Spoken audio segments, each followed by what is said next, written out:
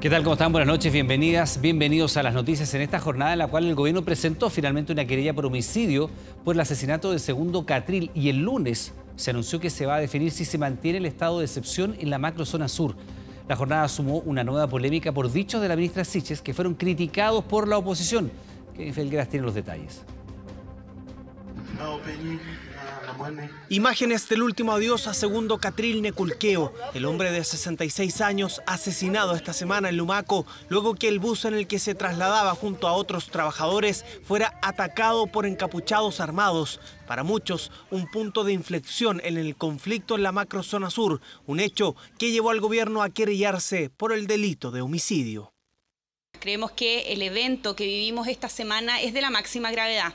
No habíamos visto un atentado directo hacia civiles eh, como lamentablemente vimos esta semana y nuestro gobierno está activamente trabajando por disminuir el poder de fuego en la zona. La ministra además anunció que se invocó la ley de seguridad del Estado por los ataques en contra de carabineros en el Fundo Quidico, pero la frase en la que aseguró que no había visto un atentado directo a civiles como el de esta semana generó controversia en algunos sectores políticos, quienes recordaron los diversos ataques en donde han surgido víctimas civiles. Por esto, la oposición acusó desconocimiento y pidieron la salida de la ministra Siches. Presidente, la facultad está, las pruebas están, la falta de preparación a la vista, los muertos también. O le falta sentido de realidad, o no sabe de lo que realmente está ocurriendo, no se hagan cómplices pasivos de la violación de los derechos humanos en la Araucanía y el Biobío. Cuestionamientos que incluso llegaron desde el oficialismo, donde el expresidente del Partido Radical, Carlos Maldonado, explicitó su descontento con el manejo de Isquia en la cartera de Interior. Durante la jornada, la ministra fue consultada nuevamente por sus dichos.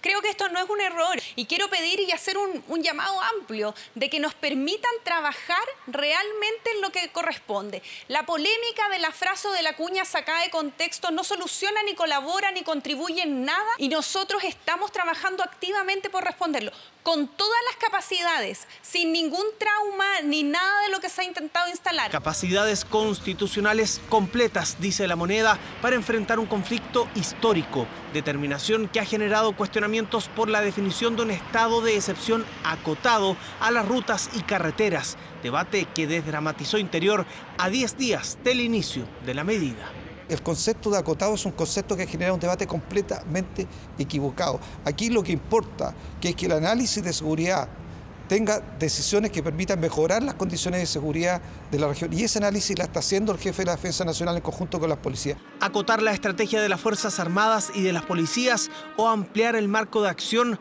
un dilema para varios integrantes del oficialismo, principalmente en apruebo dignidad, sector más reacio al estado de excepción primero, ver la efectividad del estado de excepción en este poco tiempo que ha estado y segundo, si efectivamente dicha circunstancia eh, se va a mantener o si se va a ampliar el radio de estado de excepción a todo el territorio. Nosotros presentaremos al, al, Parlamento una medida relacionada con este tema con el propósito de que si el gobierno no toma el estado de excepción como una herramienta para proteger a los chilenos, sí lo haga el Parlamento iniciativa que busca establecer un estado de emergencia por 45 días aprobado por el Congreso y que para ser desactivado el presidente de la República tendría que solicitar el acuerdo del propio Parlamento, proyecto que será dado cuenta el próximo lunes en la Cámara, mismo día que el Comité Político de la Moneda discuta las recomendaciones técnicas.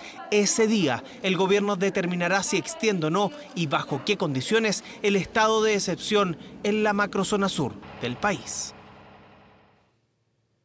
Ya acá en la capital, una marcha de estudiantes que reclaman por mejor alimentación y reparación de colegios terminó con incidentes. Un grupo minoritario que incluía encapuchados salió de la columna y se enfrentó a carabineros. Hubo otro bus quemado, el tercero de la semana y el número 36 en lo que va del año. Fue pasadas las 10 de la mañana de este viernes cuando las cámaras de seguridad registraron una nueva protesta estudiantil. La marcha fue convocada por la coordinadora Lucha Báez, que busca visibilizar las demandas de los estudiantes, entre ellas el beneficio de beca de alimentos y la infraestructura. Sin embargo, en el trayecto, un grupo de encapuchados descolgados de la mayoría protagonizó desórdenes. En Camin con Alameda, Cerca del Liceo de Aplicación se registró un nuevo ataque incendiario contra un bus del transporte público, el tercero, en menos de una semana perjudica a las conductoras y conductores, es su fuente de trabajo, pero también a los millones de pasajeros que utilizan los servicios. Por cada bus que se quema son 100 personas que inmediatamente ven afectado su servicio y si lo proyectamos en un año de renovación de un bus, estamos hablando de más de 100.000 personas perjudicadas. La máquina resultó con daños parciales, esto luego de que un carro lanzaguas apagara las llamas. El conductor fue obligado a bajar del bus, al igual que los pasajeros. Los incidentes se trasladaron al exterior de la Universidad de Santiago y al barrio Mex en Estación Central. En este último hubo enfrentamientos verbales entre manifestantes y supuestamente comerciantes ambulantes. Al llegar al sector del barrio Mex, son increpados por un grupo de comerciantes irregulares, pero como esta marcha estaba siendo resguardada por personal de carabineros, esta situación no pasó a mayores. Al continuar el poniente y al llegar a la altura de Matucana, los individuos comienzan a lanzar distintos objetos incendiarios al personal de carabineros, por lo que son dispersados. En relación a lo que ocurrió directamente en el barrio Mex, no se registraron lesionados ni detenidos. Protesta que además generó este viernes desvíos de tránsito y cierres temporales de algunas estaciones de metro. Mucho taco, venimos de allá de Estación Central y está la escoba. Sí. De todos los bienes lo mismo. ¿Cómo lo complica usted? Tráfico, el tránsito, los mismos usuarios, se atrasan. Ahora mismo voy al aeropuerto. Complejo, es complejo los días viernes porque constantemente hay desviación de tránsito, eh, mucha congestión y mucho más difícil llegar a la casa. Eh, bueno, son cosas que hay que lidiar y, y, bueno, uno entiende también a veces el, contexto y el propósito, pero también cuando se llega a la violencia ya es, otro, es otro el tema. Los locatarios del sector también se han visto afectados. La antigua fuente es un claro ejemplo de ello. Sus dueños han decidido cerrar anticipadamente los viernes para evitar incidentes. El día viernes es un día perdido para nosotros. Nosotros de hecho aquí estamos cerrando los días viernes a las 3 y media de la tarde porque no queremos, eh, ya no queremos arriesgar ni a nuestro personal, ni a algún cliente que está dentro del local y que se produzca algún enfrentamiento como el que tuvimos las veces anteriores. Hasta el momento no hay detenidos por el nuevo incendio de un bus del transporte público. En lo que va del año, han destruido 36 máquinas en protestas solo en la región metropolitana. Fíjese en esto, probablemente lo vio en redes sociales. Gary Medel, indignado porque no lo dejaron entrar a un concierto, grabó a funcionarios de la Seremía de Salud burlándose de ellos e insultándolos. Un registro que siguieron miles de sus personas que lo siguen en redes sociales en vivo y que posteriormente se viralizó. El jugador hoy ofreció disculpas por su comportamiento, aunque la autoridad analiza posibles acciones legales en su contra. Este guan que tiene la caga acá en el Ceremi, este guan. Mira, que no pasar y tengo las tres dosis. Miren, date vuelta, po. Oye, sanitario, autoridad. Transmitiendo en vivo a través de sus redes sociales, el futbolista Gary Medel increpó a funcionarios de la salud que se encontraban fiscalizando las medidas sanitarias por no permitirle el ingreso al concierto de la cantante Carol G que se desarrolló este jueves en el Movistar Arena. ¿Te da la cara, weón? ¿Por qué da la cara si soy de autoridad sanitaria? ¿Da la cara si tengo tres dosis? Te cagás entero, ¿no? Muéstrate, vos, mira. ¿No te mostráis? Mira. ¿No te mostráis? Según argumentaba el seleccionado nacional, no lo dejaban entrar pese a que contaba con el esquema completo de vacunación. Tengo las tres dosis, miren, no me dejan pasar el concierto. ¿Cómo se llaman? Estamos recibiendo... ¿Cómo se llaman? Amenazas por parte de Carimedel. Amenaza, dicen, ¿no escucharon o no? está haciendo un video en vivo. Y efectivamente, el defensa tenía sus tres vacunas. Sin embargo, su dosis de refuerzo la había recibido recién este jueves en la Clínica San Carlos de Apoquindo. Se vacunó el día de ayer. Para cualquier chileno de Arica a Punta Arenas que se pueda vacunar hoy día en cualquier punto, van a tener en su pase de movilidad esa actualización entre 24 y 48 horas. Esas son de alguna manera las reglas que sean en el proceso de vacunación. Una noche que de seguro querrán olvidar estos funcionarios de la Seremi de Salud Metropolitana que recibieron una serie de insultos del exjugador de Universidad Católica. Está grabando esta chancha. Mira, este, el bigote, mira. Esto bueno, mira. Amenaza este. Mira, díganle algo, mira, para que vean los nombres. Están eh, muy complicados porque se divulgó por las redes sociales eh, su identidad, también hubo insultos que hubo de promedio. La verdad, no hay privilegio y lo que hay que hacer es acortar la norma. Y para eso está la autoridad sanitaria, para velar, digamos, que esto es igual para todos. El llamado es a vacunarse. Una vez vacunado, se actualiza el sistema. La mañana de este viernes, el futbolista utilizó la misma red social para ofrecer disculpas por lo sucedido. Me equivoqué, da lo mismo el motivo y la razón, se me soltó la cadena. Pido disculpas a los afectados porque fue un momento de calentura, pero nada justifica lo que pasó. Declaraciones valoradas por las autoridades, aunque no descartan tomar acciones legales. Si bien se reconoce que el jugador pidió disculpas y, bienvenido en buena hora, pero eso no, no implica de alguna manera no no estudiar justamente las acciones de Liga Punta Arenas lamentablemente se pueden vivir en distintos puntos donde hay personal de salud, agresiones al personal de salud, agresiones verbales y por lo cual no podemos permitir. Un incidente que siguieron de cerca los seguidores de Instagram del jugador y que luego se viralizó generando opiniones divididas. Estuvo mal, pero obviamente a cualquiera le, le en el momento la rabia, obviamente. Bien hecho, tiene que ir con sus pases, con sus vacunas al día. Yo creo que es discutible porque hay normas, pero también depende un poco del criterio. Hay manera y manera de expresarse, pésimo. Te da la cara, pues, weón. ¿Por qué no la cara si soy de autoridad sanitaria? Da la cara si tengo las tres dosis. Te cagás entero, ¿no? Muéstrate, vos, mira. ¿No te mostráis? Mira. ¿No te mostráis?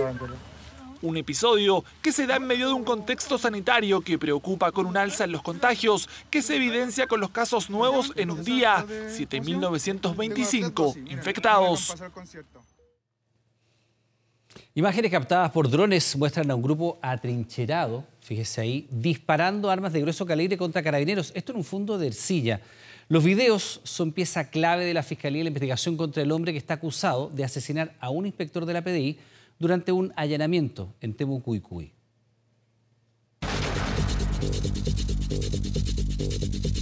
Fueron los drones de la Policía de Investigaciones los que captaron al grupo armado atrincherado en zanjas, disparando en contra de personal policial.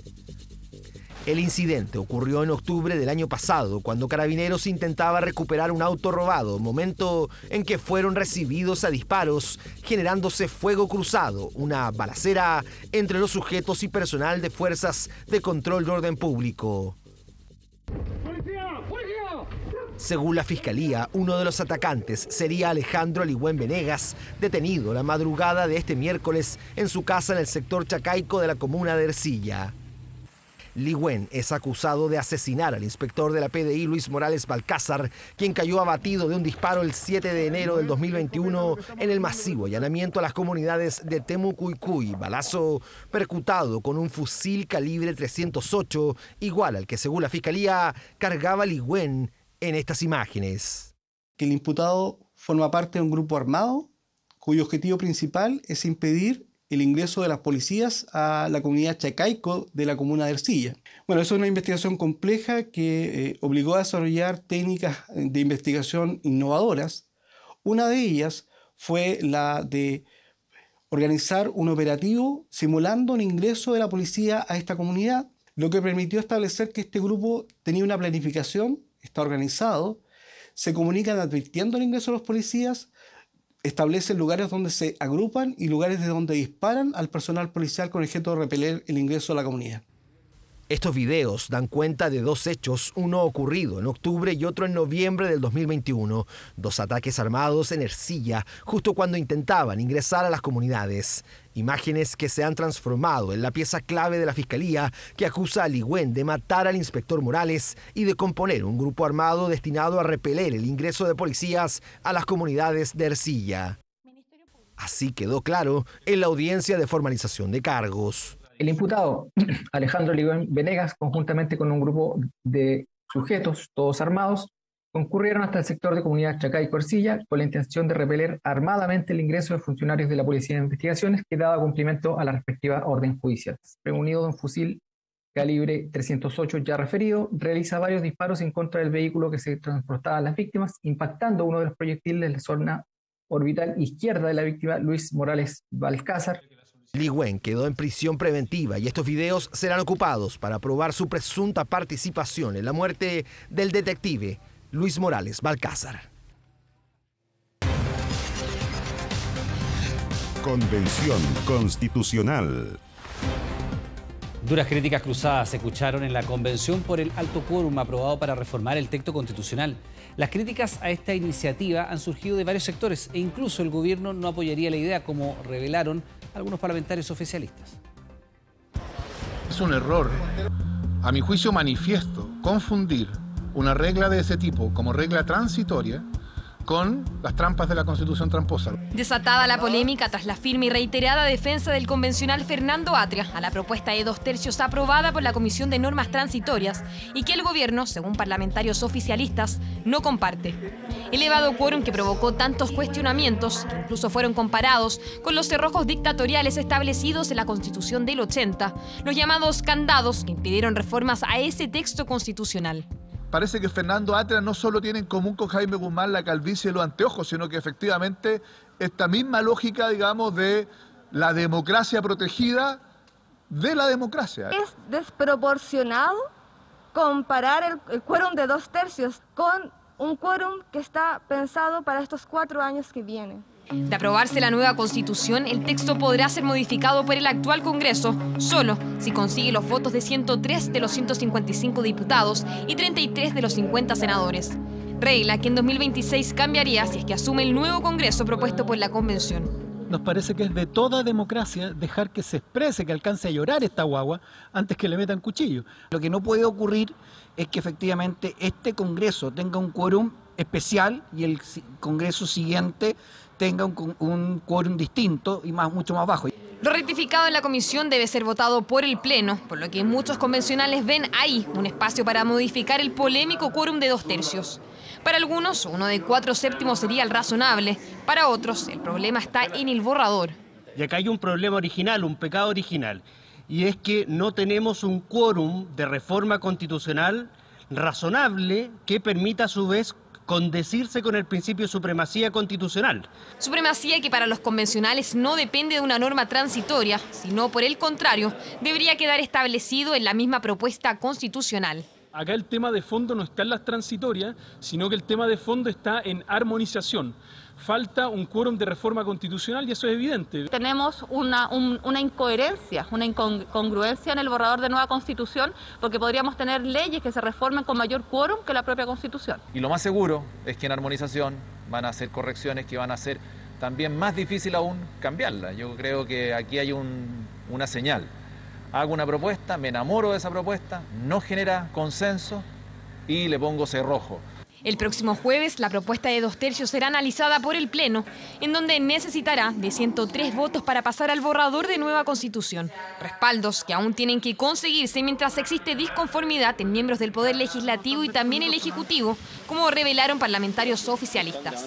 El ministro Jackson nos confirma a las bancadas oficialistas que el gobierno no está de acuerdo con la propuesta de imponerle al Congreso dos tercios. Lo que está proponiendo el nuevo texto de los constituyentes es que mientras ellos lo decidan, todas las normas en el futuro próximo tengan que ser cambiadas por dos tercios. Eso no es un cerrojo, eso es un ultra cerrojo. Un conflicto que se transformó en uno de los grandes nudos de esta última etapa constitucional. ¿Serán los convencionales capaces de llegar a un acuerdo? Queda una semana para lograrlo. Dos funcionarios de carabineros están siendo investigados por el Ministerio Público luego que se detectara el envío de municiones de alto calibre a través de una encomienda. Estas imágenes exclusivas son parte de las pruebas de una investigación. Una alerta interna en una oficina de la empresa de encomiendas Chile Express captó la atención del Ministerio Público.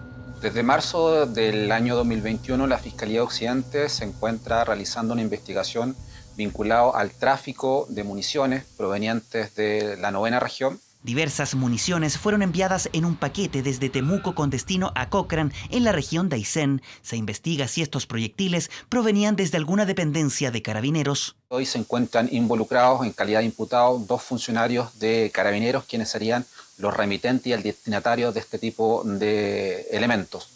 La investigación se centra en esclarecer si este hecho se vincula con la incautación realizada el año pasado a Juan Pablo Pirce, funcionario judicial de Traiguén. No gusto que usted quiera, pero yo soy funcionario judicial, le estoy diciendo. Sí, perfecto, eso lo sabemos también. Sabemos, nosotros porque estamos consiguiendo la orden. ¿Y qué es lo que se supone que dice la denuncia? Que aquí hay planta. Sí, eso. En este domicilio habrían planta. Eso. Tras una denuncia anónima por drogas, en su casa se encontraron armas y municiones de guerra de alto poder destructivo. Pueden perforar perfectamente cualquier estructura mecánica, metálica de algún vehículo, inclusive algunos elementos de protección de carabineros. Actualmente se encuentra en prisión preventiva a la espera del juicio. La Fiscalía solicitó 20 años de cárcel por cinco delitos ligados a la ley de armas. Las municiones encontradas en su domicilio también serían propiedad de carabineros. Yo creo que es importante exigir eh, a carabineros y en general a las Fuerzas Armadas que eh, ajusten sus protocolos, que los revisen constantemente y que en el fondo haya, se, se trate de tener maneras de que hayan controles internos y externos. Con respecto al descubrimiento de balas en una encomienda, desde Carabineros señalaron que no pueden referirse al tema por existir una investigación judicial en curso, pero precisaron que un sumario se encuentra vigente para determinar eventuales responsabilidades ser muy claros que cuando ocurran estos incidentes, cuando hayan eh, carabineros que estén involucrados en hechos delictuales, evidentemente la institución activamente está trabajando por encontrarlos, detectarlos y obviamente separarlos de sus funciones habituales. Yo creo que hay que respetar los procesos y la presunción de inocencia, pero eso no implica lo mismo que tener defensa corporativa y para eso es necesario en el fondo eh, prestar toda la colaboración posible y ser lo más transparente y rendir cuentas que se pueda a quienes corresponda, pero también a la ciudadanía. Una investigación que seguirá su curso a fin de determinar si existió o no sustracción de armas y municiones desde la policía uniformada. Fíjese que ya hay más de 200 casos de viruela del mono alrededor del mundo. En Argentina se confirmaron los dos primeros casos de este virus y no se descarta que pronto llegue a nuestro país. Ya son dos los casos confirmados en Latinoamérica. El gobierno de Argentina aseguró que los pacientes que observaba como sospechosos efectivamente están contagiados con la viruela del mono. Es posible que aparezcan casos en nuestro país, así como ya existe un caso en Argentina, pero no esperamos que esto se transforme en una epidemia y menos en una pandemia. Lo cierto es que todavía no se confirma ningún caso de este virus en Chile, pero las autoridades aseguran que nos estamos preparando para diagnosticar la enfermedad rápidamente a través de un PCR. La capacidad que Chile tiene de detectar los casos es alta y de sospecharlos. Y lo que estamos gestionando, los últimos detalles, para que si encontramos algún caso, lo que estamos pensando es que vamos a buscar un centro asistencial donde tener todas las medidas de aislamiento. Según la OMS, aún no se requiere un plan de vacunación masiva contra esta enfermedad, aunque ya varios países europeos han confirmado la compra de un antídoto para enfrentarla. Bavarian Nordic es el único laboratorio en el mundo que fabrica una inyección aprobada por la FDA que ataca específicamente la viruela del mono. A pesar de eso, los expertos ya han confirmado que la vacuna contra la viruela humana sería eficaz contra este nuevo brote. En España han logrado secuenciar el virus al 100%, lo que permitiría obtener datos de su comportamiento y comprender mejor su origen. Dos grandes grupos entre estos virus, uno asociado a mayor agresividad, mayor virulencia y otro a menos y los que se han secuenciado están dentro del grupo de menor virulencia. Así que nos da eh, valiosa información en realidad. Ya se han confirmado 219 casos alrededor del mundo y en Reino Unido, también en Bélgica, se impuso una cuarentena de 21 días para aquellos que estén contagiados. De todas maneras, las autoridades han sido enfáticas en señalar que este virus es diferente al SARS-CoV-2, con una transmisibilidad lenta y más difícil.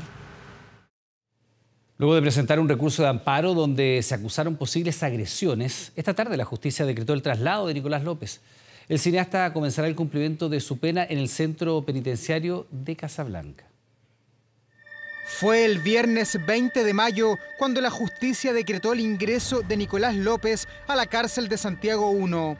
Ha pasado una semana y durante todo este tiempo el cineasta permaneció en el sector de enfermería aislado como forma preventiva para evitar contagios de COVID, una condición que finalizó esta tarde. Santiago 1, por ejemplo, recibe a todo tipo de imputados, a todo tipo de delitos. Tenemos más de 3.500, 4.000 internos hoy día en Santiago 1, que fue diseñada en su génesis para albergar a internos de todo tipo de delitos. Para nosotros no hay internos de primera y segunda categoría.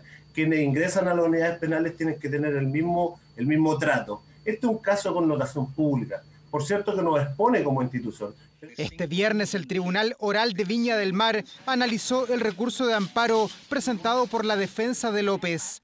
Allí solicitaron que el cineasta, condenado a cinco años y un día por abuso sexual reiterado, cumpla condena en el sector de enfermería o sea trasladado al anexo cárcel Capitán Llaver. Tenemos la certeza de que negar privilegios carcelarios injustificados a un agresor es un haz de luz en el camino de reparación que hacen las compañeras sobrevivientes. Estamos tranquilas, pero seguimos muy vigilantes para que este proceso judicial siga un curso justo. Informes elaborados por Gendarmería indicaron que la situación psicológica de Nicolás López es óptima y no requiere un trato especial ni tampoco distinto al de los otros reclusos. Sí alertó que podría tener conflictos con otros internos.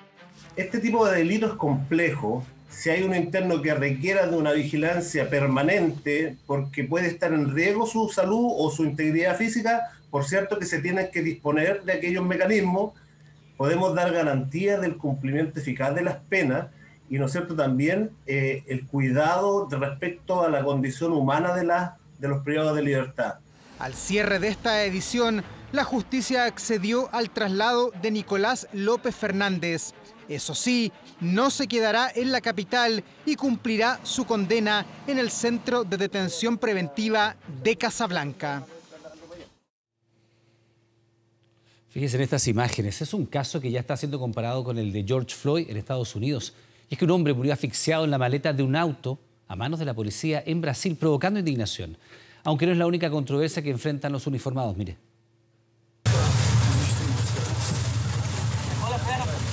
lleno de humo y asfixiado por las fuerzas policiales. Conmoción e indignación se vive en todo Brasil. Esta vez la muerte de Genibaldo de Jesús Santos en manos de la policía abre nuevamente el debate en torno al abuso de los uniformados que se denuncia en distintos rincones del país. Mostró sus manos, mostró su ropa para demostrar que no tenía armas. Bajó la mano, la metió al bolsillo, sacó un medicamento y se lo mostró. Y es que en la localidad de Umbaúba, en el noreste del país, el hombre de 38 años que tomaba medicamentos por su esquizofrenia fue obligado por las fuerzas policiales a subir a la maleta del auto que estaba llena de humo. Le pedí y supliqué a la policía, por el amor de Dios, saquen a mi hermano de ahí, sáquenlo de ahí. Supliqué y supliqué y respondieron no, no va a salir. Hechos que provocaron la muerte por asfixia de Genibaldo según mostró la autopsia, pero no es el único episodio que complica a la policía brasileña. Esta es la segunda matanza en el complejo Peña. Estamos muy preocupados. Es parte del día a día de la gente. ¿Qué vamos a hacer? Los disparos y las bandas criminales han vuelto una constante en las calles de Río de Janeiro.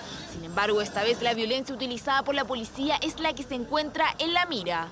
Este martes, un operativo policial contra una de las bandas criminales más grandes de Brasil se tomó Vila Cruzeiro, favela ubicada en el norte de Río de Janeiro, dejando 25 víctimas fatales. Algunas preguntas necesitan ser respondidas por nuestras autoridades públicas y por toda la sociedad de Río de Janeiro, que vive en una ciudad que vive desde hace décadas en este escenario típico de la guerra civil. De acuerdo con la denuncia del jefe de la Comisión de Derechos Humanos del Colegio de Abogados de Brasil, existen signos de tortura y de ejecuciones sumarias en el operativo realizado en la favela. Lamentablemente la ciudad maravillosa tiene que ahora ser llamada casi como ciudad mortífera por, estos números que nos muestran un enfrentamiento, una guerra de baja intensidad que está hace años y que independientemente del gobierno que está en el poder en cada momento, constituye un problema sin solución hasta ahora. Situaciones que provocan profunda indignación y preocupación en Brasil, un país golpeado por la violencia que se vive día a día en sus calles. El alto valor de la benzina es un dolor de cabeza para los automovilistas chilenos. Un estudio reveló que los precios en nuestro país se ubican en el promedio del mundo. Sin embargo, la gasolina en Chile es una de las más caras en Sudamérica. Con 20 mil pesos alcanzaron 18 litros. Antes con 20 lucas casi lo llenaba uno. Al mal tiempo, buena cara, dice el viejo refrán popular. No queda otra, el precio de los combustibles está por las nubes y así lo retrata este taxista. 39 semanas seguidas lleva subiendo la gasolina, lo que implica un alza de 265 pesos por litro. Así también lo evidenció Mauricio cuando fue a cargar su vehículo. Este, 11 mil pesos, 9 litros, no alcanza ni a 10. Llega aquí a 15 litros, una cosa así, por lo menos. Así que, muy poco. Pero ¿qué tan cara es la benzina en nuestro país? Según el ranking del Global Petrol Price, el litro promedio de gasolina en el mundo cuesta 1.152 pesos chilenos. Estamos en el medio del ranking internacional. Sin embargo, a nivel sudamericano, solo Brasil, Perú y Uruguay nos superan en un sondeo donde Venezuela, Bolivia y Colombia son los países con la gasolina más económica. Antes lo llenaba con 20, Ahora yo creo que estoy sobre 35 para llenarlo. Antes gastaba 15 mil pesos, hoy día son 25 mil pesos diarios. 45 mil pesos. Y lo llenaba con 30, 35. Sí. Así ha sido el costo, así, así tan, tan grande es la diferencia. Pero ¿cuánto cuesta llenar un estanque de benzina en Chile versus los países más caros y más baratos? En Libia, aunque usted no lo crea, el litro cuesta 25 pesos. En Noruega, uno de los países más caros, el litro de gasolina vale 2.129 pesos. Ni pensar en llenar el estanque. Pero ojo, en Chile la gasolina podría ser aún más cara si no existiera el MEPCO. Si es que no existiese el MEPCO, estamos hablando hoy para la gasolina 93 que sería aproximadamente 417 pesos más de lo que es hoy para la gasolina 97 estamos hablando de aproximadamente 469 pesos por litro. Mecanismo de estabilización de precios que debido a las alzas internacionales nuevamente deberá ser fortalecido. Por ello es que el Ministerio de Hacienda alista anuncios para el lunes con la idea que siga operando. El MEPCO ya alcanzó su máximo de uso de recursos de 1.500 millones de dólares a mediados de mayo. Mis estimaciones son que se necesitan alrededor de mil millones de dólares más para que el MEPCO siga funcionando de aquí a fin de año. Por ahora solo queda cotizar. En el sitio www.benzinanlinea.cl se puede monitorear el precio del combustible más conveniente. Una escolar fue víctima del robo de su teléfono en Providencia luego que un motochorro la atacara. El mismo delincuente había sido detenido en el verano por este mismo delito, pero aquella vez la víctima lo defendió en una detención ciudadana. Quedó libre en esa oportunidad, pero ahora el ladrón tuvo un desenlace muy diferente, mire. ¿Te gustaría hacer denuncia por de lanzazo y aparte porque... No, quiero hacer una denuncia por los tipos que te pegaron al tipo. La historia de un motochorro comienza el 23 de febrero, cuando robó el teléfono de una abogada en Providencia. Sin embargo, la víctima en primera instancia no quiso denunciar al asaltante. No le voy a hacer denuncia a un pobre tipo. Es que me da miedo que lo deporten. El atraco terminó en una detención ciudadana que, según la profesional, especialista en derechos humanos, se escapó de las manos. Yo no quería eso por un teléfono, no me parecía justo. Más que detención ciudadana es, a mi parecer, y lo que yo vi, o sea, a mí no me cuentan cuentos, era un hinchamiento y era un matonaje, un apremio ilegítimo que es, a mí parece mucho más terrible que sacarme un teléfono y después devolvérmelo. Johan Rojas Tavera, el motochorro de nacionalidad colombiana, fue detenido pero quedó solo con arraigo nacional y firma mensual. Incluso un testigo lo denunció esa vez ante la negativa de la víctima. ¿Qué pasa? Este tipo no lo agarramos ahora y una cuadra más allá va a robar también a alguien más. No creo. Bueno, ayer lo volvimos a capturar.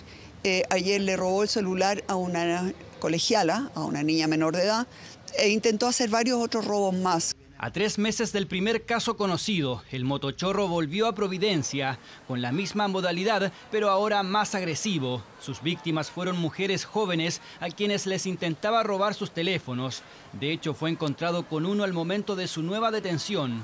Las denuncias son fundamentales porque eh, quizá la primera vez no van a tener eh, una pena aflictiva, no van a tener cárcel, Em, porque no tienen una conducta reprochable anterior. Em, pero en la medida que los volvemos a pillar una segunda o tercera vez, es más probable, ¿no es cierto?, que efectivamente se les dé cárcel o incluso se les puede expulsar. Señorita, disculpe, ¿usted es abogado de los derechos humanos? Sí. Mire, usted tiene la responsabilidad moral y jurídica de decir la verdad. ¿Usted en este momento No existe obligación al momento de denunciar, está el derecho de abstenerse, pero influye a la hora de perseguir penalmente y la cautelar que se decrete en contra del acusado. La mayoría de los delitos en Chile son de acción penal pública, lo, lo, que significa es que se pueden perseguir independiente de que la víctima denuncie o no. El problema es que la víctima normalmente es el mejor testigo del delito. Lo que pasa es que efectivamente una persona puede entender, y con fundamentos de peso, que el sistema de castigos puede ser peor incluso que el mismo delito. Es el argumento de la abogada, quien incluso intervino en la detención. Sufrió una fractura en su pierna derecha, todavía está en proceso de recuperación. Yo no tengo una varita de cristal como para saber qué iba a ser el tipo, no. Yo solo puedo comentar lo que yo hice en febrero y, y, y por qué lo hice. Si yo no intervenía, yo sentía que lo mataban y para mí una vida muere mucho más que un teléfono, obviamente. La abogada víctima aclara que finalmente hizo la denuncia. Se suma a las otras dos mujeres que también lo hicieron. Ahora el motochorro está en prisión preventiva.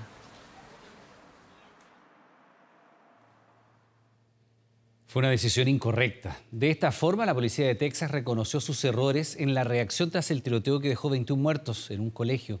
Mientras, en ese mismo estado, empezó la convención de la Asociación Nacional del Rifle con Donald Trump, el expresidente, como orador principal. Con solo 11 años, esta niña se convirtió en una de las sobrevivientes del tiroteo de la escuela de Uvalde. Y su historia ha dado la vuelta al mundo, ya que Mía Cerrillo se puso sangre de una compañera sobre su cuerpo para fingir que estaba muerta y no ser detectada por el tirador. Solo así logró salir con vida del lugar. A tres días de la peor masacre en un colegio en una década ocurrida en Estados Unidos, el dolor de las 21 familias que no corrieron con la misma suerte de los cerrillos está calando profundo en sus corazones. Nunca voy a poder ver a mi bebé de nuevo, nunca más. Deben hacer algo. No deben olvidar a los niños, no los olviden. Por favor, hagan algo al respecto, se los ruego. Mi hija estaba emocionada por el verano. Íbamos a ir al zoológico y quizás a Illinois para visitar a nuestra familia. Obviamente ahora no haremos nada de eso. Los primeros informes señalan que la policía local demoró entre 45 minutos y una hora en ingresar a la escuela para abatir al tirador. Además, Salvador Ramos estuvo alrededor de 12 minutos rondando el colegio antes de atacar. Una reacción que ha sido calificada como un error fatal por las familias afectadas, las que rogaban a los uniformados hacer todo lo posible para detener el ataque. La gente gritaba, entren, atrápenlo, cada vez que se escuchaba un disparo y ellos solo decían que no querían que nadie saliera herido. Los niños no debían morir. Obviamente no fue la mejor decisión. En realidad fue una mala decisión. Punto. No hay excusas para esto. Más de 210 tiroteos masivos se han registrado durante este 2022. Esto significa más de un tiroteo al día. Frente a esta alarmante cifra, crecen los cuestionamientos contra los republicanos por bloquear dos proyectos de ley que buscan mayor control en el porte de armas. Además de las críticas a la Asociación Nacional del Rifle, que ha vuelto a ser apuntada como una de las principales organizaciones responsables de bloquear cualquier iniciativa sobre este tema. Es una vergüenza que la NRA y sus aliados estén frenando todos los intentos de avanzar en medidas que buscan salvar vidas frente a la violencia armada. Pese a las protestas de la comunidad local que buscaban frenar su reunión, este viernes la NRA inició su convención anual de tres días en Houston. Distintos oradores defendieron el derecho a portar armas que les entrega la Constitución. Uno de ellos, precisamente, el exmandatario Donald Trump. Como parte de un plan integral de seguridad escolar, es hora de permitir que los maestros capacitados lleven armas de manera segura y discreta. El presidente Joe Biden planea este domingo visitar la ciudad de Uvalde y reunirse con las familias de las víctimas y entregarles su apoyo en una nueva semana marcada por una tragedia en Estados Unidos. Fue una de las figuras más poderosas de la Iglesia Católica en las últimas décadas, según informó la prensa italiana. Hace cuestión de horas nada más, a los 94 años, murió el cardenal Angelo Sodano, quien fuera secretario de Estado Vaticano entre los años 1991 y 2006, durante los papados de Juan Pablo II y Benedicto XVI. Sin embargo, en Chile era conocido desde mucho antes. Usted se recordará, ya que ejerció como nuncio apostólico en nuestro país entre 1977 y el año 1988, siendo el principal representante del Vaticano en Santiago durante la dictadura de Augusto Pinochet. Ícono de los sectores conservadores de la Iglesia, en 2019 Sodano dejó su puesto de decano del Colegio Cardenalicio por petición expresa del Papa Francisco. Según la prensa italiana, su estado de salud había empeorado en los últimos días a raíz de un reciente contagio de COVID-19.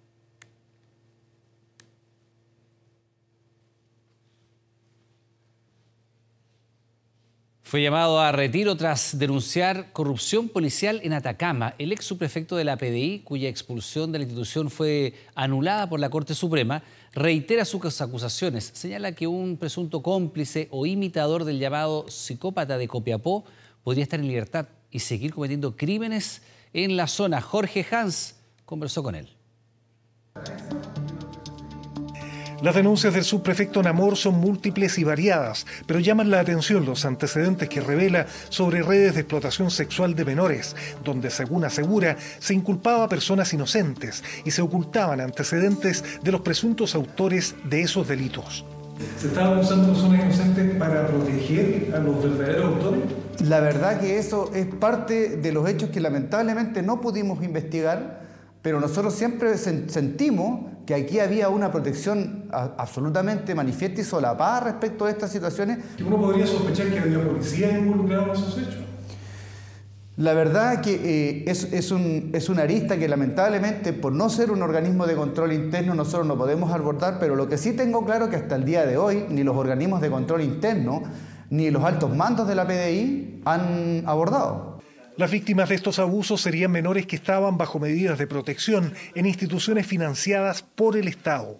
Estos niños y, niñas y adolescentes recorrían, ¿cierto?, eh, a través de las redes de, protección de la infancia diferentes hogares de menores en la tercera región y por tal motivo todos ellos se conocían. Y se conocían porque al analizar sus redes sociales aparecían, como eh, por decir en Facebook, con lazos de amistad con niños o niñas que estaban eh, siendo materia de investigación en otras aristas por nosotros en temas de protección sexual infantil. Situaciones similares habrían sido constatadas por el policía en una investigación sobre tráfico de armas, donde los principales sospechosos parecían ser avisados de los allanamientos antes que estos se produjeran. Nos empezó a llamar la atención que cuando era personas importantes que estábamos investigando, nosotros íbamos dirigiéndonos a la casa del sujeto y el sujeto se estaba presentando en los cuarteles de carabinero para hacer entrega voluntaria de las armas que tenía en su poder. Respecto al caso conocido como el psicópata de Copiapó, que se encuentra en etapa de juicio oral con un único inculpado del homicidio de tres mujeres, Namor señaló su sospecha de que Hugo Pastén pudo actuar con un cómplice, o al menos que otro sujeto pudo cometer el mismo tipo de delitos. Lo que sí es muy claro que en el corto plazo de la detención de Hugo Partenes, ¿cierto? Nosotros ya teníamos a un sujeto que ya lo teníamos identificado que estaba participando o que había participado lo menos en un hecho de las mismas características, mismo modo operandi, utilización de un colectivo, desplazamiento fuera de la ciudad, intento de agresión sexual a la víctima. Paradójicamente, el sospechoso fue detenido por otra unidad policial justo antes de confirmar su participación en los hechos y lo detiene, ¿cierto?, por una orden de detención por manejar esta variedad.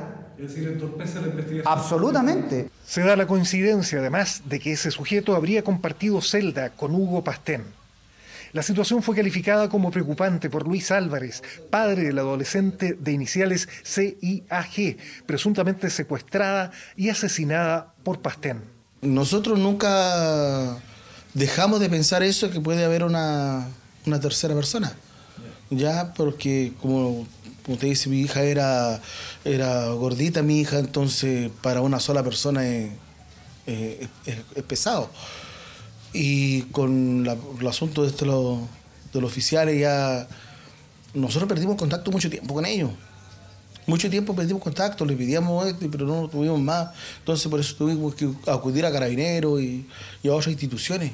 Guillermo Namor manifestó su intención de volver a la PDI, precisamente para evitar que se repitan situaciones como esta. ¿Usted quiere volver?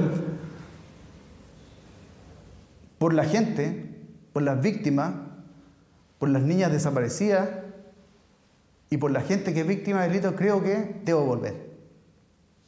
El fallo de la tercera sala de la Corte Suprema ordenó a la PDI reincorporar al subprefecto, quien fue llamado a retiro precisamente tras denunciar corrupción en la prefectura de Copiapó. ¿Pero es una señal, presidente, del correcto funcionamiento de la institución? No le voy a decir nada si es una señal o no es una señal, eso los tribunales resuelven conforme a su facultad y su independencia. El fallo del máximo tribunal revoca una sentencia anterior de la Corte de Apelaciones de Copiapó, deja sin efecto la baja y ordena a la PDI reincorporar al subprefecto a las filas de la institución. Consultada sobre este tema, la PDI Atacama señaló que al no ser una institución deliberante no están facultados para emitir comentarios y que se limitarán a acatar el fallo. Por otra parte, se indicó que existen varios sumarios en curso acerca de las denuncias que efectuó el subprefecto Namor. Este jueves, Namor recibió una llamada de la prefectura de Copiapó para comunicarle que había concluido un sumario con una sanción, justamente en su contra. Hasta el momento el oficial permanece en la región de Coquimbo, donde casualmente le correspondió una actuación destacada al participar en la detención del sujeto que agredió al presidente Boric durante su visita a la zona. Este sábado y domingo se festeja el Día de los Patrimonios, un fin de semana cultural que se había interrumpido por las restricciones de la pandemia, pero que ahora regresa con una cifra récord de actividades, más de 2.200 programadas a lo largo de todo el país. TVN va a abrir también las puertas a los visitantes.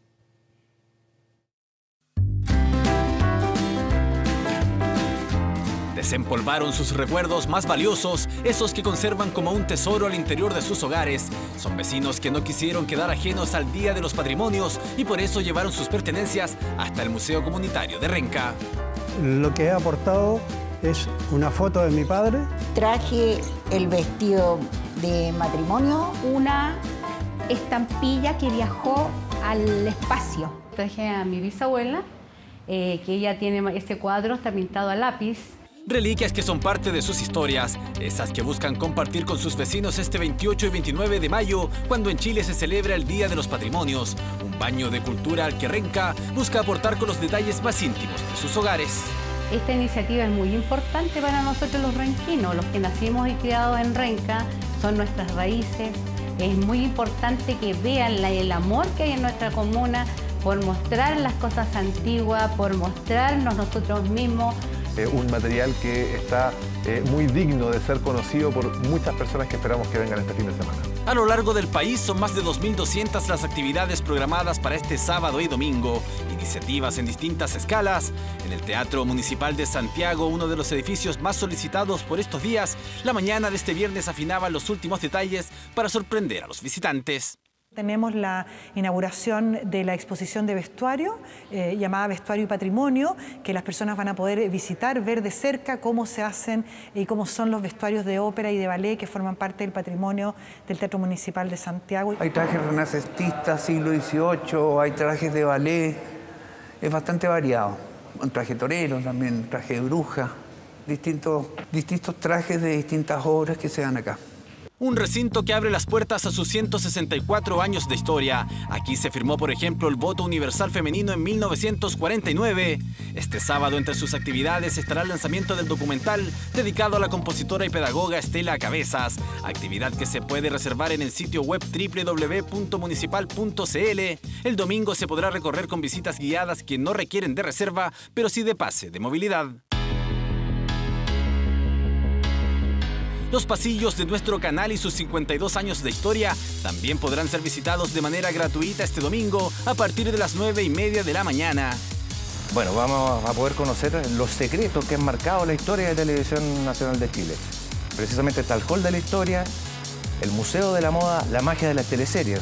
Vamos a conocer muchos detalles desconocidos para mucha gente respecto de cómo se construyeron esos programas tan emblemáticos. El recorrido incluye visitas al vestuario de teleseries emblemáticas de TVN, como Llorana, La Fiera y El Circo de las Montini, entre otras. El estudio Felipe Camiroaga, donde se transmite el Buenos Días a Todos y Buen Fin de, también estará abierto a los visitantes. De igual modo, el estudio de 24 horas central. Van a poder conocer, por ejemplo, las etapas previas a un noticiero. Maquillaje, eh, cómo nos microfoneamos los conductores, también eh, todas las labores aquí, el croma de deporte. Se graba acá con, con Gustavo Huerta, con Pedro Calcura Son parte de los panoramas que podrán disfrutar los chilenos tanto en el barrio como en recintos emblemáticos, recorridos de diversa índole, donde habrá además 230 actividades con enfoque de género y 40 sobre diversidad e interculturalidad. Un día de los patrimonios que tras dos años de pandemia volverá a disfrutarse de manera presencial.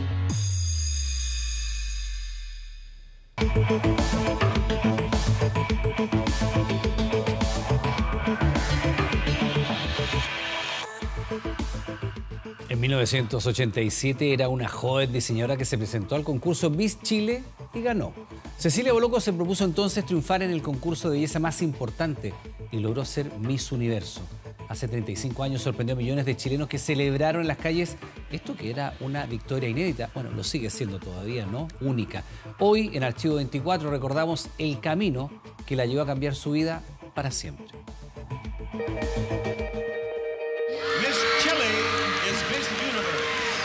A Miss Chile como Miss Universo, señoras y señores. Dos años habían pasado desde el duro terremoto de 1985 y en nuestro país no había muchas cosas por las cuales celebrar. Sin embargo, una de esas alegrías vendría de la mano de una transmisión de televisión nacional de Chile, de una mujer que quedaría grabada para siempre en la memoria de los chilenos. Señoras y señores, Cecilia Boloco ha obtenido el cetro. Yo dije, lo voy a conseguir, porque las cosas hay que ganárselas, hay que conseguirlas, hay que construirlas. Carolina Gutiérrez, Cecilia Boloco. Me mira y me dice, yo quiero ser Miss Chile. Y yo sé que lo voy a hacer muy bien. Son parte de nuestra personalidad. Nosotros le teníamos echado el ojo hacía mucho tiempo a la Cecilia Boloco. Pero la Cecilia Boloco fue como varios años no, no. Voy a hacer las cosas una por una, no todas juntas. Siempre lo he dado todo, aunque piense que no tengo ninguna posibilidad de triunfo.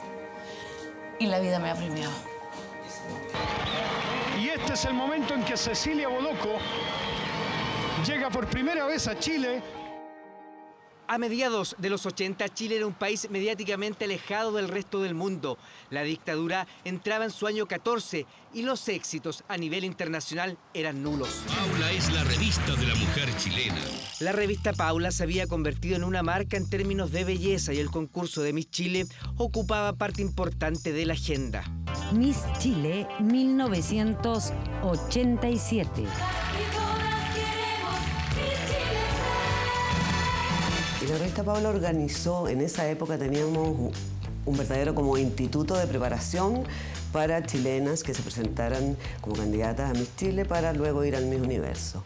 Y naturalmente presidenta de este jurado, la señora Andrea Eluchanz.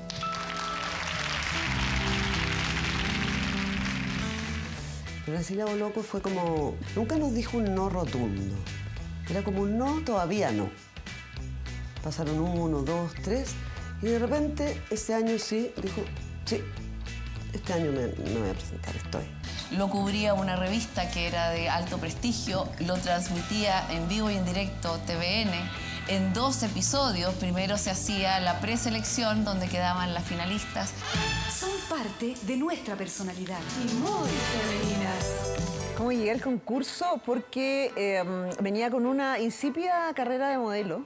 El concurso duraba un año, desde que te llamaban llamaban a 100, de las 100 quedaban 80, de las 80 40, de las 40 quedaban 20, de las 20 10. Cecilia Boloco tiene 21 años, mide 1,68 metro 68 de estatura. Sus medidas 90, 60 y 90. Me tocó no solamente conocer a Cecilia, sino que Cecilia me ayudó mucho. Yo era muy chica, tenía 17 años.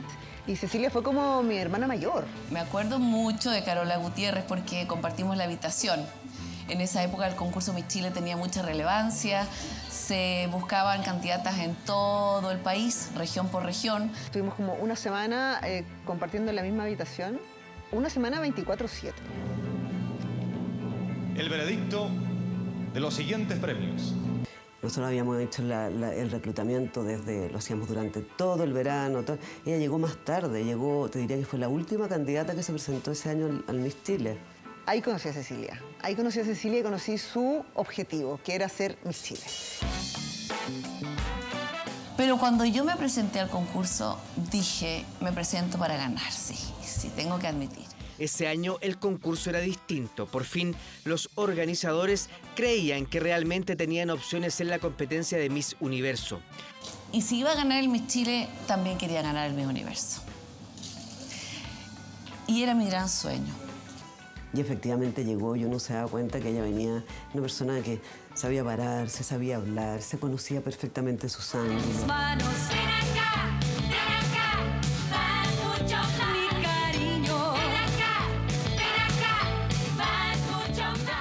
Yo creo que Cecilia esperó, yo creo que la estaban llamando año tras año, hasta que ella encontró que era el momento para presentarse, la madurez.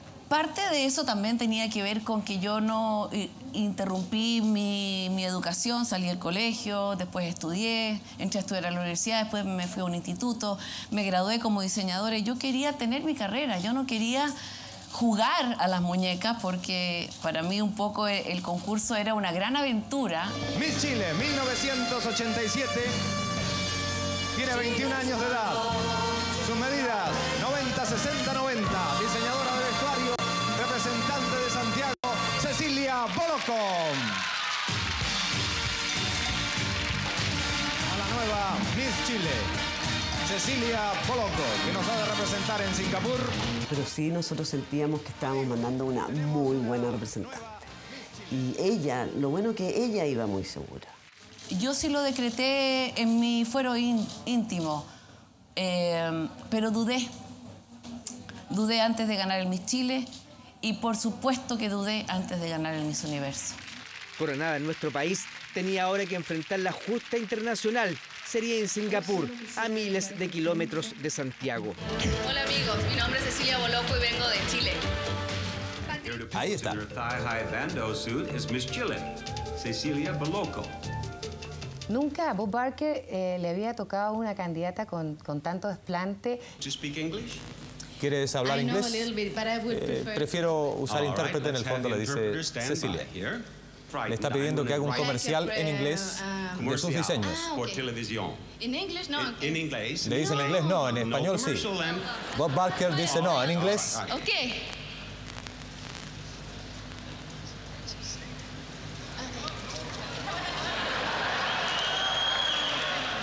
Uh, You say that in English. Okay. You ladies. Bob Barker se llamaba, ¿no? Sí. Él hizo todos los años consecutivos del Miss Universo. There you are. And they'll do it. Thank you, Miss Chile.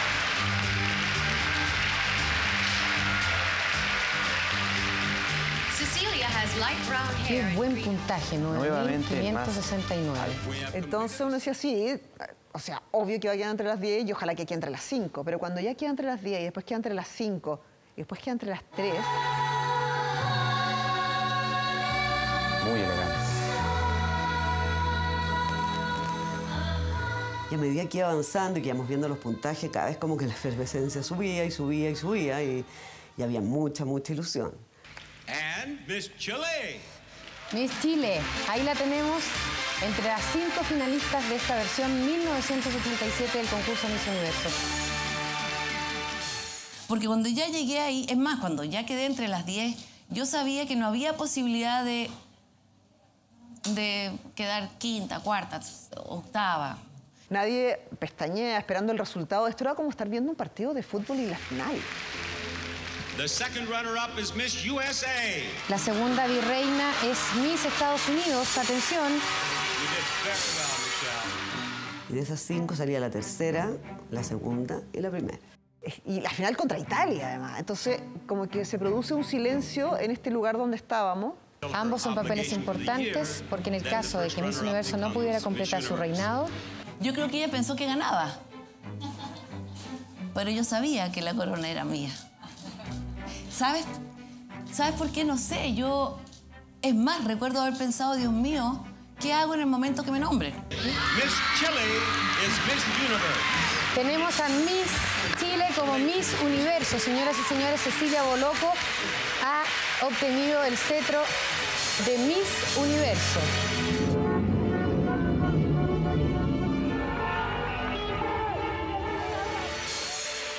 Es realmente emocionante la nueva Miss Universo 1987.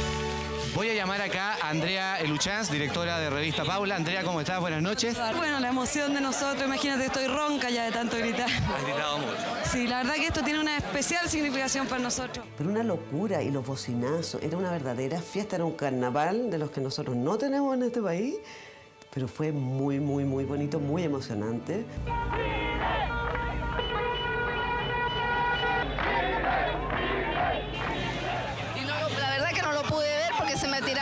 Gente encima y no lo he podido ver el final cuando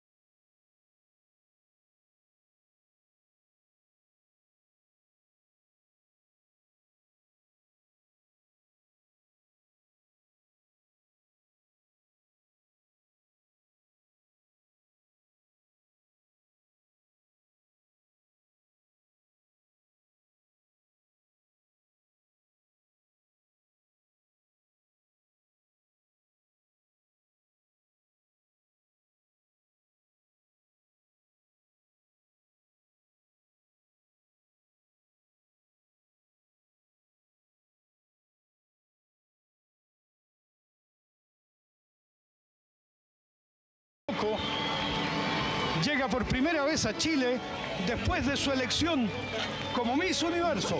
Cecilia. El régimen de Pinochet tampoco quiso ser ajeno. Efectivamente era plena dictadura. Cuando ella vuelve siendo mi universo, que se, hace- se le hace toda una recepción, pero recepción de autoridades, recibían la moneda, yo me acuerdo haber ido a almorzar en ese minuto a la moneda, no solo con Pinochet, con la familia completa. El encuentro se prolongó por aproximadamente 20 minutos. Entonces se le asoció mucho a... Ella era una persona absolutamente independiente, fue una, fue una mera coincidencia. Cecilia seguiría en los medios, vendría CNN, las telenovelas, las comunicaciones, un matrimonio y una separación no menos mediática, y con el tiempo, un hijo de la relación con el fallecido y controvertido Carlos Saúl Menem. Esa, esa exposición que en algunos momentos fue cruenta, fue dura, fue muy invasiva, también generó un vínculo con la gente, muy potente, que yo creo que lo he sentido más vivo que nunca cuando mi hijo enfermó. Cecilia no abandonaría nunca más la escena pública. Me vieron caerme, me vieron equivocarme, me vieron hacer tonteras, me vieron ser altanera, me vieron también llorar, me vieron reír, me vieron todo. Y entonces siento que ha sido un privilegio para mí. No porque fuera la más, la más estupenda, la, la más regia, sino que era la que tenía la convicción de que esa era su objetivo. Pero la verdad es que ella, si uno mira las imágenes con el tiempo, se veía tan bien, tan bien parada, tan bien... Era una Miss Universo. Miss Chile is Miss Universe. Marca mi vida mm, drásticamente, dramáticamente. Se produce un punto de inflexión. Era una niña llena de sueños que había competido en un concurso de belleza y que se convirtió de la noche a la mañana en una persona pública. Cecilia Boloco está más vigente que nunca. A sus labores de mamá acaba de lanzar una última línea de perfumes. Desde que se calzó la corona de la mujer más hermosa del universo, ha sido parte fundamental de la sociedad y de las comunicaciones en nuestro país.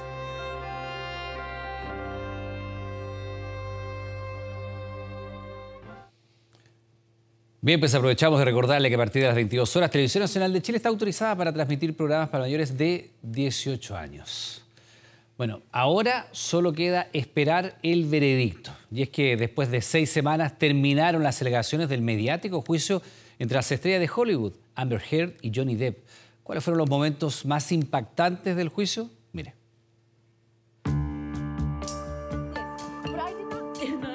Son seis semanas donde los ojos del mundo han estado puestos en uno de los juicios más mediáticos de los últimos años. Julgamento do caso Amber Heard versus Johnny Depp. Johnny Depp and Amber Heard. Johnny Depp se retrouve. Johnny Depp 前阵子向前妻 Amber Heard提 Hoy finalmente las estrellas de Hollywood Amber Heard y Johnny Depp se bajaron del estrado para esperar un veredicto tras un juicio que ha tenido impactantes momentos. She threw the large bottle. Ella tiró esta botella grande e hizo contacto y se rompió por todas partes.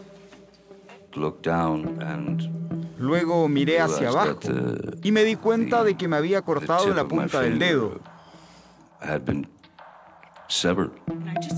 Y no sabía qué más hacer, no sabía qué decir, no supe cómo reaccionar.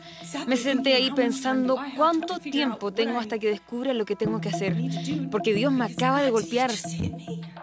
It was a photograph of the bed, our bed. Era una fotografía de la cama, nuestra cama, y en mi lado de la cama había materia fecal humana. Was human fecal matter. My back is turned to him and Le doy la espalda y siento una bota en mi espalda. Él simplemente me pateó en la espalda. Me caí en el suelo, me quedé en el suelo. Un juicio que ha tenido también otra protagonista, la confrontacional abogada de Depp, Camille Vázquez, que se ha vuelto tendencia en redes sociales. ¿No es verdad que acabas de editar estas fotografías? ¿No aumentaste la saturación de una de estas fotos para que tu cara se vea más roja? No, eso es incorrecto, no la edité. Y es por eso que te sentiste cómoda con James Franco la noche del 22 de mayo de 2016, señorita Heard. No sé, no sé cuándo, no sé cuándo vino James. Está bien, vamos a recordarte. Un juicio que ha sido seguido por millones de personas y donde la actriz de Aquaman ha recibido miles de mensajes agresivos desde redes sociales. I receive hundreds Recibo cientos de amenazas de muerte regularmente, si no todos los días. Miles desde que comenzó este juicio. La gente se burla, se burla de mi testimonio sobre haber sido agredida. Y en el que ha habido sorprendentes testimonios, como el de la famosa modelo y expareja de Depp, Kate Moss, quien contradijo un testimonio entregado por la actriz. Durante el transcurso de su relación, ¿alguna vez él la empujó escaleras abajo? No, nunca me empujó, pateó ni me tiró por las escaleras.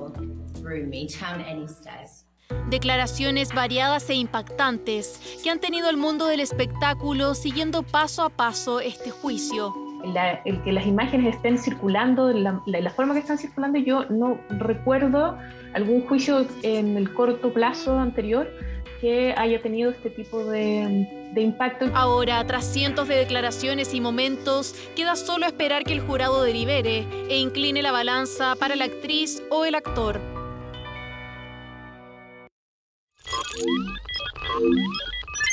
Mundo Viral. Juicio viralizado aquel, ¿no? Como viral también son los videos que nos trae Franco Ferreira para revisar esta semana. Lo más comentado, por supuesto, en redes sociales. Franco, ¿qué tal? Gracias, Iván. Buenas noches a todos. ¿Has escuchado, Iván, la frase has llegado a tu destino? Alguna vez. es, es famosísima esa frase. Eh, reunimos, no, no nosotros, digamos, el mundo pudo ver, conocer a las personas que hablan, la asistente de Google y la mujer que pone la voz de Google eh, Map. Escuch- escuchemos este video. A ver. A las nueve y media en el VIPS de la esquina. Adelanta la media hora. Ok, Susana. ¿Qué quieres que te diga? No, ¿qué quieres que te diga yo a ti? Puedo asistir con cualquier cosa. No, yo estoy para asistirte a ti. Yo te asisto a ti. No, yo te asisto Yo a ti. soy tu asistente. No, yo soy tu. No, eh, yo no, soy estoy tu- interrumpas. Ok, Niki, ¿qué hacemos ahora? De verdad son ellas, Nicky García y Susana Ballesteros, las Ahora mujeres que personifican, a las digamos, que, hacen la- estas voces de aplicaciones que nosotros escuchamos todo el tiempo. Todo el rato. Las conocemos absolutamente. ¿Ahora la estamos conociendo? Eh, ellas son, eh, la de la izquierda No, es ¿qué Nicky quieres García, la que hace a eh, la voz del GPS, por ejemplo. Tenemos otro video, un video que apareció hace un par de meses. No, Yo creo que sí lo vi. Eh, Es muy probable, lo queremos recordar porque eh, interactúa la mujer que hace la voz con el GPS de su vehículo. Por favor, presten mucha atención. Toma la segunda salida. No te la pases. Ríe es la segunda salida. No atropelles a ese chico. No te la pases. En la rotonda, toma la segunda salida. No es notable. Y no solo ella, ya que estamos conociendo estas voces emblemáticas que eh, en el día a día escuchamos.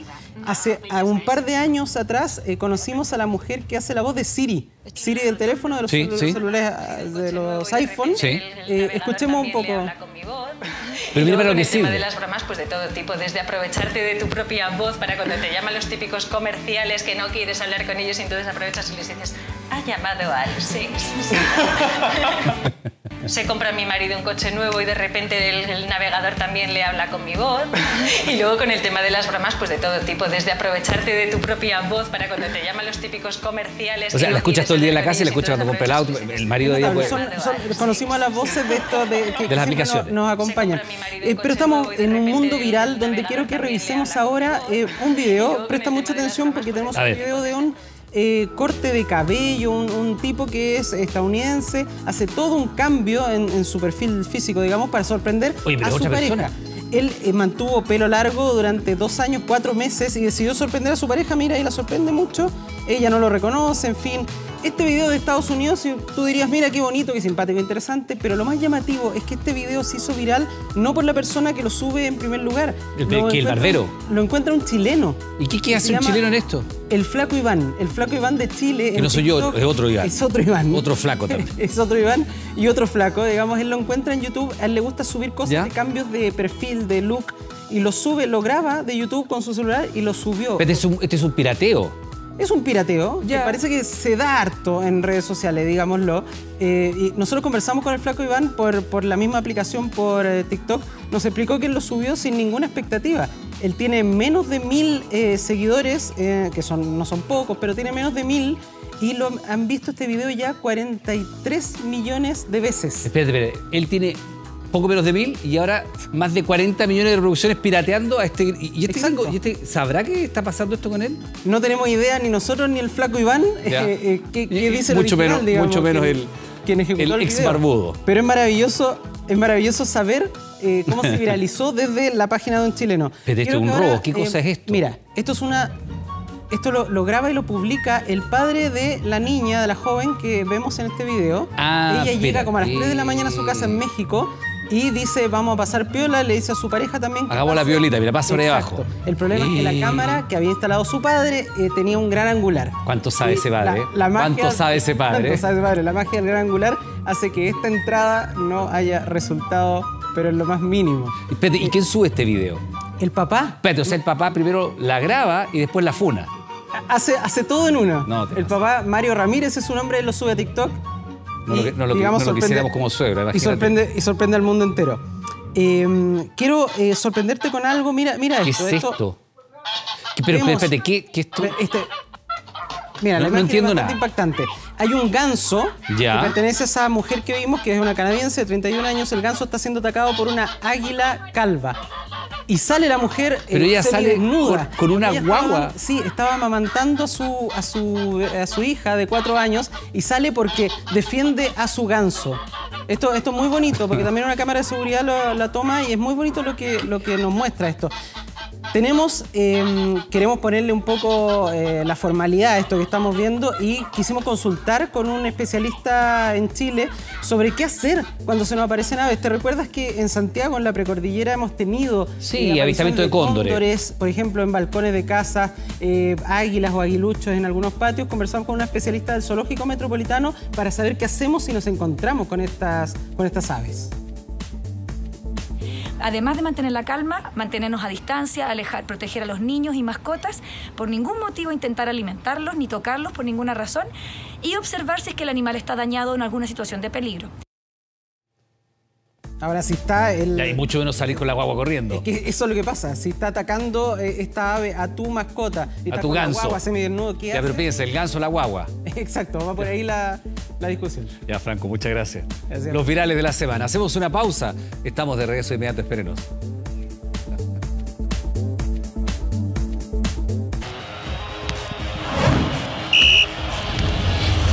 ...24 horas deportes.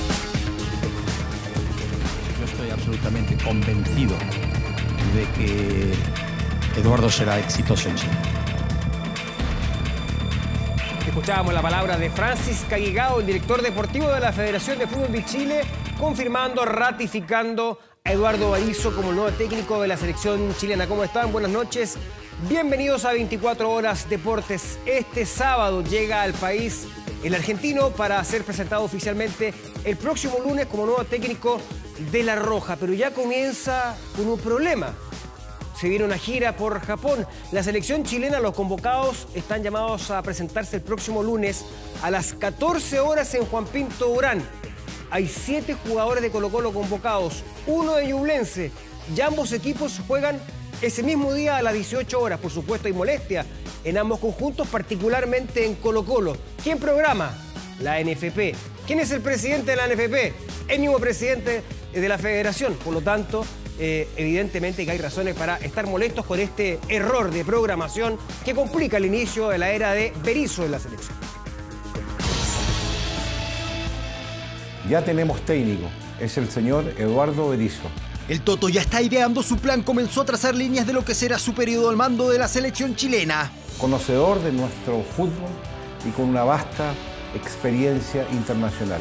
El hecho de conocer el medio local fue un factor importante a la hora de elegir a Eduardo Berizzo. La NFP confía que el argentino le va a dar un giro necesario a una alicaída selección.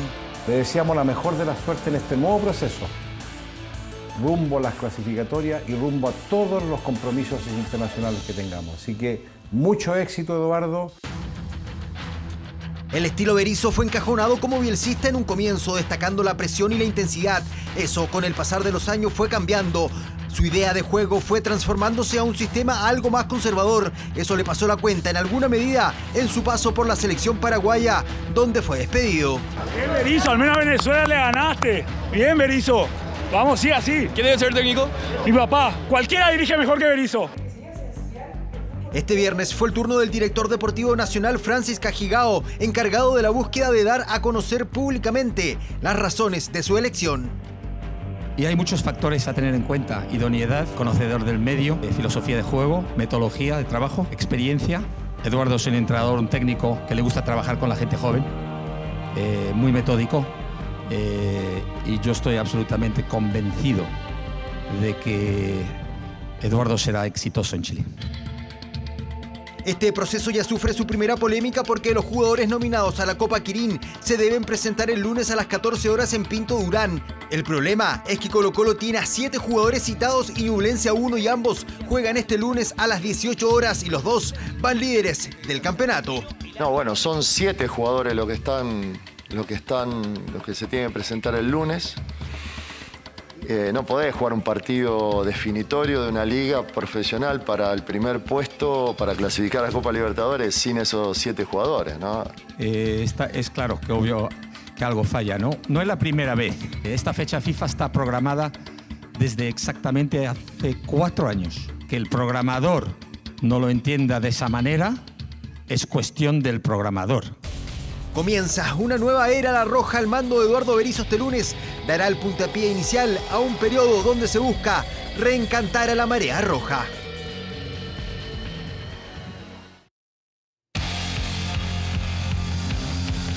Vienen otras generaciones. Creo que ya he jugado bastante. El retiro de Esteban Paredes del fútbol profesional es prácticamente inminente. Con 11 títulos en su carrera, ya se despidió de Coquimbo Unido. Es tan importante para nuestro, para nuestro fútbol que es el segundo máximo goleador chileno de la historia, solo superado por Osvaldo Pata Bendita Castro. ¿Será este el adiós definitivo del ídolo de Colo Colo? Me siento con muchas ganas, de verdad, de seguir jugando, de seguir demostrando que to- todavía aún me queda fútbol. Hace exactamente un año Esteban Paredes daba estas declaraciones tras anotar dos goles jugando por Coquimbo Unido, pero hace un par de semanas dejó entrever en ese mismo estadio, donde vivió sus mejores días como futbolista, que el retiro estaba más cerca que nunca. Vienen otras generaciones, creo que ya he jugado bastante, con muchos dolores, me he infiltrado varias veces y me sentaré con mis hijos, con mi familia a conversarlo y voy a decidir que es lo mejor para mí. Que al parecer Esteban ya lo meditó, lo conversó con su familia y llegó a una conclusión. Hoy toca despedirme de ustedes y como siempre lo hago dando las gracias. Fue el anuncio del goleador en sus redes sociales. Se despide de Coquimbo Unido y abre las puertas a su retiro. En total, contando partidos por los puntos y clubes clase A, anotó 367 goles en 716 partidos. De ellos, 12 goles los hizo con la selección chilena y 198 jugando por el cacique.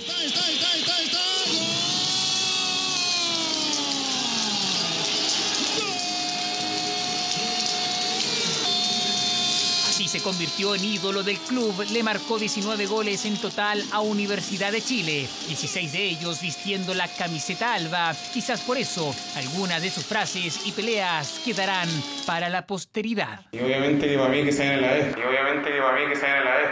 Ese tontito no, no quiero responder nada. Ese tontito no, no quiero responder nada. Hay que buscar los goles que le hago ahí a, atrás del, del, del arco. Ahí. La única vez que, que lo conozco cuando hice red atrás en la camiseta de él, así que... Centro largo. Paredes, gol.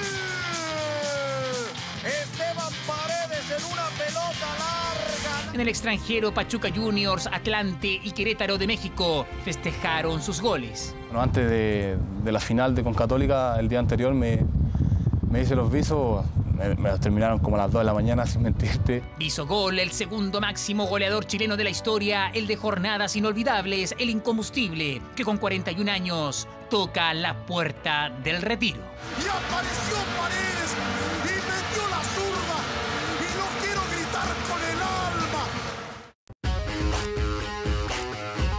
Bien, se realizó este viernes el eh, sorteo de los octavos de final de la Copa Sudamericana. La verdad es que no hubo tan buena fortuna para los equipos chilenos que quedaron eliminados de la Libertadores y que pasaron a esa, a esa competencia. Hablamos de Colo Colo, por ejemplo, que va a enfrentar nada menos que a Internacional de Porto Alegre de Brasil, mientras que la Católica tendrá que medirse frente al Sao Paulo. Además, ambos equipos chilenos van a cerrar las respectivas llaves de visita allá en Brasil. Con esta información yo me despido, lo dejo con este informe respecto de lo que se viene para los chilenos en la Copa Sudamericana. No hay más tiempo, dice Esteban Ostojic. Para el cacique, el camino continental continuará en la Conmebol Sudamericana. Llegar más lejos, ¿no? Eh, de la Sudamericana. Es una obligación para nosotros. Final en San Carlos de Apoquindo, en Las Condes, en Santiago de Chile. Católica va a la Sudamericana. No pudieron en la Libertadores y el destino cambió hacia la otra copa. La Sudamericana espera a Albos y Cruzados que este viernes conocieron a sus rivales en los octavos de final del torneo. Colo-Colo do Chile. Internacional do Brasil. El Inter de Porto Alegre será el rival del cacique en octavos. El undécimo del Brasileirao clasificado invicto en su grupo de la primera fase de la Copa Sudamericana. Sí, nos tocó un rival de los más difíciles que, que nos podía haber tocado. Y claro que es un equipo difícil, escuadra coopera que además terminará la llave en casa. Una dura valla que tendrá que superar Colo Colo para avanzar en la Copa. Creo que, que va a ser un rival muy duro, después es importante definir en casa con, con nuestra gente para, para que ellos también sientan un poco la presión. Universidade Católica do Chile. São Paulo do Brasil. Los cruzados, por su parte, tendrán al frente a Sao Paulo. El cuadro brasileño clasificó invicto en su grupo, en donde solo empató un partido, precisamente ante un chileno, Everton de Viña del Mar. Eh, vamos a tener un tiempo de trabajo con el técnico, eh, donde vamos a corregir muchas cosas, donde vamos a mejorar mucho y eso nos va a servir eh, para enfrentar a, a San Pablo, que es un gran rival. Los únicos equipos nacionales que siguen en copas internacionales. Ambos se verán las caras con cuadros de Brasil, con la ilusión de lograr un título continental.